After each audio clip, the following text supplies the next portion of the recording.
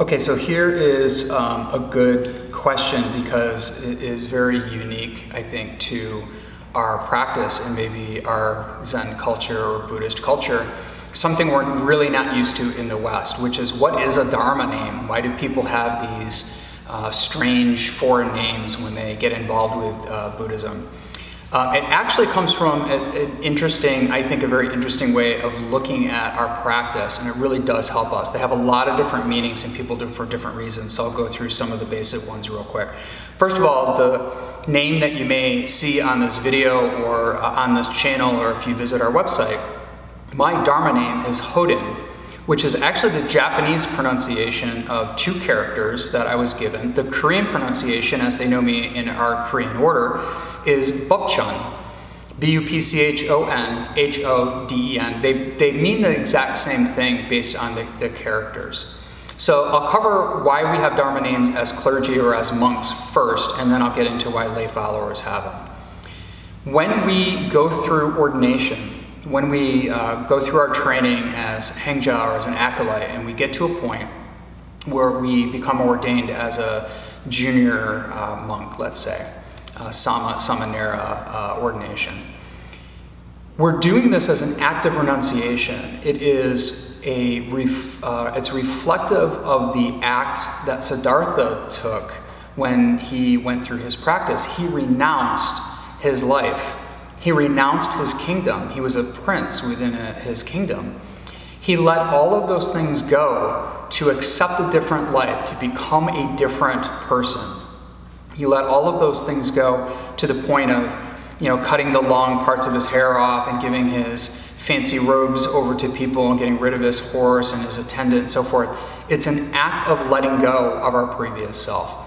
Now, modern renunciation, or the way I view modern renunciation, is that we have to, in some ways, let go of our previous self. And the name helps us to do that. We're born and raised when we're, we're born, our parents name us something. And that is the thing that we attach our ego to for a really long time growing up and through our lives. And people say your given name and you respond. You hear somebody say that and you think, oh, that's this thing, that's me that they're talking to. So practically names are great, but we also have our names tied to whatever life that we've lived. So Dharma names in some ways can be a good way and an act of renunciation to let go of our what we call mundane life, our mundane self, prior to taking on this next stage in our lives. That's one aspect of why a monk would end up taking a different name through this act of renunciation. It also has a very practical sense within orders, um, different Buddhist orders, of understanding lineage. So the names are chosen in a very particular way. Uh, they all share families, usually two characters, and everybody along the same line that maybe had the same uh, Dharma father or Dharma mother um, would all start with the same name. So um, I have a number of uh, brothers and sisters within the Bup family. BUP means Dharma. So there's a lot of different names. Bupchon is the second part that's unique to me, but that second part can be along anybody else. We know when we look at our lineage that all of our teachers also started with a different name as well, and something that they all share, and then the next level up, next level up. As all of uh, the, my brothers and sisters within uh, our lineage, we now have a new generation coming out. We've just ordained our first person within this new lineage, uh, one of my first disciple. So my first disciple now has a name, and anybody that gets into that same thing, any of the uh, clergy that end up having a disciple, they will be renamed with that new first part of their name, and so on.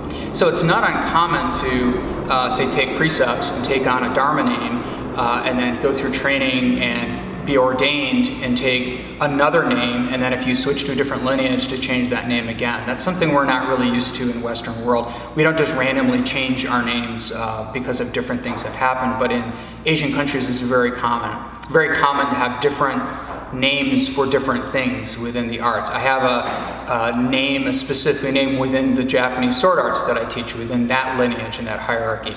Artists a lot of times can have an artistic name for calligraphy or other things like that. So in the sense of clergy, we're doing it for renunciation, we're doing it for lineage, we're doing it um, to understand that we're letting go our previous lives. Now, for a lay follower, somebody that doesn't go through the process to become a monk or a Dharma teacher, when they take precepts, five basic precepts, in some way they're doing the exact same thing that I just said. They're letting go of their previous selves and they're joining into a Sangha, joining into a Dharma family within the Sangha. And all of the people who take precepts together as a Dharma family also share the first character. They have a second character that's unique to them.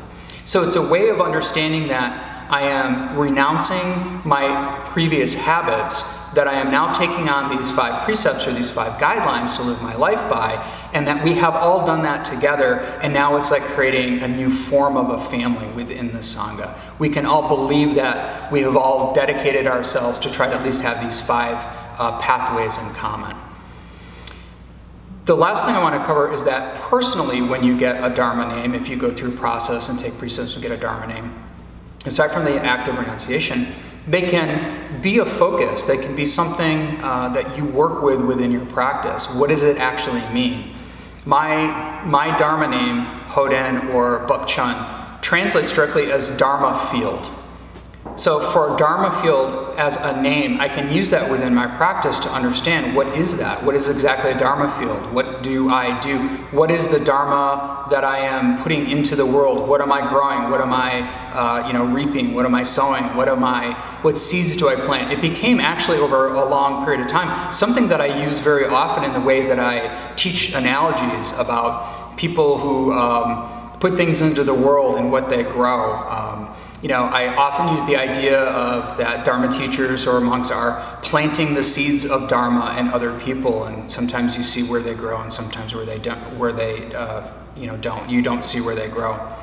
Understanding your own personal Dharma name can have a lot of different layers. It can have that kind of very direct meaning that you can translate, and sometimes it's something that you work with for a very long period of time. And it gains new meaning over time, and maybe it helps you within your practice.